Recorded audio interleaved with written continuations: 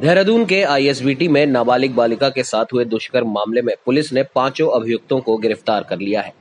गिरफ़्तार अभियुक्तों में धर्मेंद्र कुमार, देवेंद्र, रवि कुमार, राजपाल और राजेश कुमार शामिल है। घटना में प्रयुक्त उत्तराखंड परिवहन निगम की बस संख्या U K zero seven P A five two double nine को भी पुलिस ने अपने कब्जे में लिया है। फोरेंसिक टीम द्वारा बस की जाँच की गई है और महत्वपूर्ण साक्ष्य एकत्र किए गए हैं। पूछताछ के दौरान अभियुक्त देवेंद्र ने बताया कि उसे पीड़ित बालिका दिल्ली के कश्मीरी गेट स्टेशन पर मिली थी। बालिका पंजाब जाने वाली बस के बारे में जानकारी ले रही थी। देवेंद्र ने उसे देहरादून चलने और वहाँ से पांवटा होते हुए पंजाब भेजने का झांसा देकर देहरादून लाया। देहरादून पहुँचने के बाद जब रात में बस से सभी सवारियाँ उतर गई तो देवेंद्र और बस ड्राइवर धर्मेंद्र ने मिलकर बालिका के साथ दुष्कर्म किया। इसके बाद अन्य बस चालकों राजपाल राणा और रवि कुमार ने भी बालिका के साथ दुष्कर्म किया। अंत में बस कंडक्टर देवेंद्र ने कैश काउंटर पर पैसा जमा कराने के दौरान इस घटना की जानकारी कैशियर राजेश सोनकर को दी, जिसने भी बालिका के साथ दुष्कर्म किया। पुलिस ने सभी अभियुक्तों को गिरफ़्तार कर लिया है और मामले की जाँच जारी है। रात्रि करीब डेढ़ दो के बीच में वहाँ पर जो गार्ड एक आईएसबीटी पर है, उसने एक बालिका को देखा कि वो एक उसकी दुकान पर जो मैगी की वहाँ बन रही थी दुकान पर बैठी हुई थी। और इसके बाद देखा कि वहाँ एक व्यक्ति साथ में बगल में खड़ा था, उससे कुछ बातें कर रहा था। उसको संदिग्ध लगते हुए कि रात्रि में इस तरह बच्ची एक वहाँ पर बैठी हुई है। तो उसने वहाँ पर जो वहाँ पर जो वन ज़ीरो नाइन एट की यूनिट रहती है, उसमें व्यक्ति रहता है, उनको इन्फॉर्म किया। उनका नाम है श्री दिगंबर जी। तो उन्होंने इसके बाद, चूँकि महिला उसमें बच्ची थी तो उन्होंने अपनी दूसरी यूनिट में जो दूसरी महिला काम करती है, जो आई बेटी पर थी, उसको उसको कॉल करके फिर उसको वहाँ पर बुलाया। और बुलाने के बाद जो बच्ची से प्राथमिक जानकारी करी तो वो अपना नाम पता बहुत ज़्यादा नहीं बता पा रही थी, ये बताया जो प्राथमिक जाँच में उन्होंने लिखा है रिपोर्ट में, उसमें लिखा था कि पटियाला से मैं आई हूँ और मेरे माँ बाप नहीं है तो ये रिपोर्ट में उन्होंने जो प्राइमरी रिपोर्ट होती है, उन्होंने उसको अंकित किया और इसके बाद जो नियम होता है उनका कि थाने पर बताकर कि बच्चा मिला है और उसको हम चाइल्ड वेलफेयर के सामने प्रस्तुत करेंगे, अपना नाम पता घर का नहीं बता पा रही ठीक से और कुछ मानसिक रूप से परेशान लग रही है तो उसको हम वहाँ पर काउंसलिंग करके और आपको सूचित करेंगे जो एकदम एस के अनुसार था। इसके उपरांत जब हम उसको वहाँ पर साढ़े तीन बजे के बाद सारी प्रक्रिया करके सारी प्रक्रिया करके वो सी डब्ल्यू सी के सामने जब अगले दिन वो ले जाते हैं, उस दिन भी काउंसलिंग के दौरान उसने अपने आप को कहीं कोई, अपने साथ ऐसी कोई घटना के बारे में नहीं बताया और ना ही कोई मेडिकली ऐसी कोई दिक्कत बताई। तो नॉर्मल जो एक, जब बच्चों को लाते हैं तो नॉर्मल एक मेडिकल वहाँ पर कराया जाता है। वो नॉर्मल मेडिकल करा दिया गया था।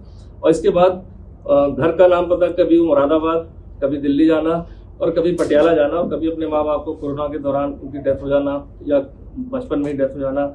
और इस तरह अपने भाई और जो घर में परिवार के लोग हैं, उनका भी एग्जैक्ट कुछ नाम पता नहीं था। ना ही उसके पास कोई फ़ोन था, ना ही कोई आधार कार्ड या कोई आइडेंटिटी थी जिससे कि उसकी पहचान हो पाए। तो ये चौदह तारीख को भी काउंसलिंग के दौरान ऐसी कोई बात नहीं बताई गई। पंद्रह तारीख को क्योंकि वहाँ अलग अलग कमेटी है चाइल्ड वेलफेयर कमेटी काउंसलिंग होती है। वनिता करके उनकी काउंसलिंग होती है और इसके अलावा सी डब्ल्यू सी के मेंबर्स हैं, उनकी भी काउंसलिंग होती है। तो नेक्स्ट डे जब काउंसलिंग की गई तो इसी बात कुछ आई कि उसके साथ कोई गलत बात हुई, जैसा उसने बताया। इसके बाद फिर उसकी थर्ड काउंसलिंग हुई। नेक्स्ट डे फिर से करी गई काउंसलिंग तो जब इस काउंसलिंग के बाद ये चीज़ निकल के आई कि हाँ भाई, ये कोई मुरादाबाद में रहने वाली है, अब दिल्ली गई थी। और दिल्ली के बाद आई लेकिन माता पिता इसके नहीं है। और इस तरह से एक घटना प्रकाश में आ रही कि इसके साथ कोई घटना ऐसी हुई होगी और तो इस पर उनके द्वारा एक तहरीर जो है, कल साय को जो हमें प्राप्त हुई थी, इसके बाद हमने तत्काल जैसी चीज़ प्राप्त हुई। एक टीम का गठन महिला अधिकारी और सभी के साथ हमने बना दिया था इसमें कि वो जाए मौके पर, क्योंकि घटना स्थल भी बहुत ज़्यादा स्पष्ट नहीं था, लेकिन आईएसबीटी से चुका वो मिली थी वहाँ से। इसलिए आईएसबीटी से हमने कैमरे को खंगालना शुरू किया। तो बहुत सारी हमें फुटेज मिली, जिस फुटेज में बालिका आराम से वहाँ जगह बैठी हुई मिली। इसके बाद एक व्यक्ति वहाँ पर घूमता दिखाई दिया बगल में और इसके बाद गार्ड ने जो सूचना दी तो वो करोबरेट हो गई थी हमारी पूरी घटनाक्रम की इस तरह से घटनाक्रम हुआ तब जब वो सस्पेक्ट को जब हमारी महिला सस्पेक्टर द्वारा विस्तार से लड़की से पूछा गया तो उसके द्वारा ऐसा बताया गया कि पाँच लोग के साथ के ने अलग अलग समय में उसके साथ गलत वो काम किया है। इस, इसके आधार पर भी जो आदमी सस्पेक्ट वहाँ घूम रहा था, उस फुटेज को लेकर वहाँ के जितने भी हमारे ड्राइवर या काम करने वाले लोग हैं कर्मचारी गण एस के आसपास रहते हैं दुकान पर, उन सबसे हमने वेरिफिकेशन कराया कि कोई इसको पहचानता होगा।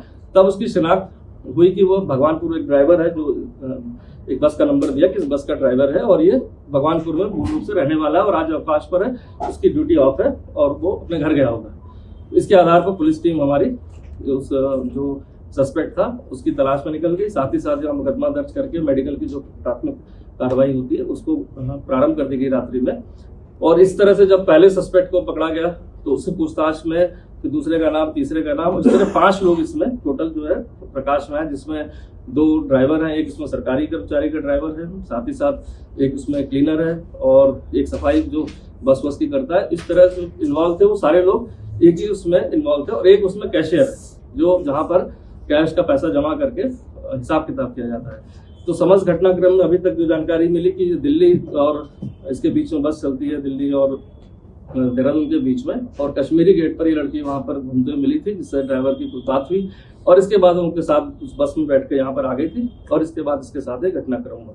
तो अभी तक जितनी चीज़ें आई हैं अभी तक इतने कम समय में जो जितना प्रयास हो सकता था पाँचों लोग जो आइडेंटिफाइड कर लिए गए, पूछताछ के बाद पाँचों को हिरासत में ले लिया गया। बाकी जो फ़ील्ड यूनिट, हमारी जो एफएसएल की टीम है, उसको भी रात्रि में बुलाकर हमने बस के जो भी अगर कोई सैंपल वगैरह एफएसएल से तो वो कलेक्ट करा लिए गए।